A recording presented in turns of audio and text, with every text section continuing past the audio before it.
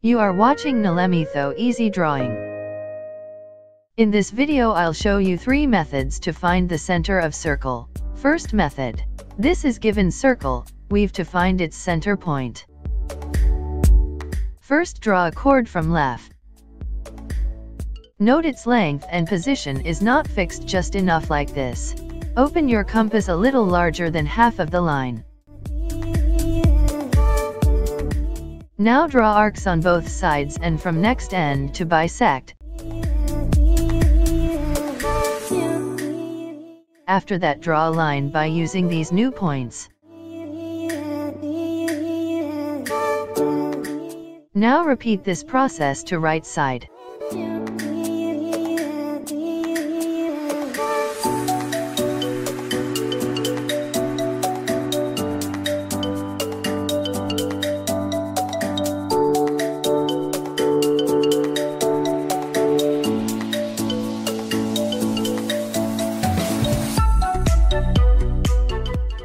Done.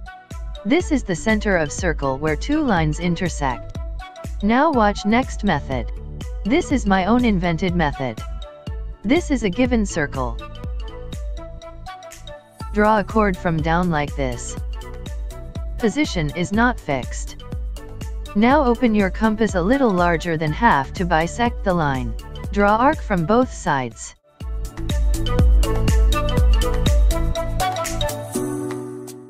Draw vertical lines by using these points.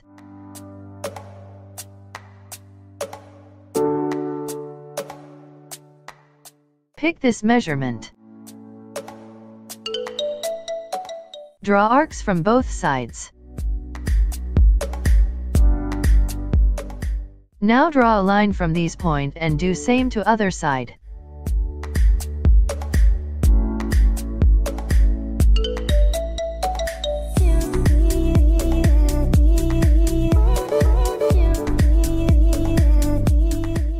This is the center of circle. Now watch next method. This is my own invented method too. Circle is given, place your compass on right side of the circle and open enough like this. Now draw another circle. Without changing the compass, draw arcs from both sides like this.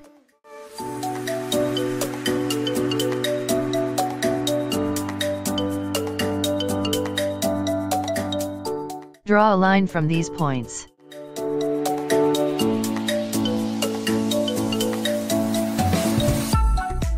Now draw another line from these two points.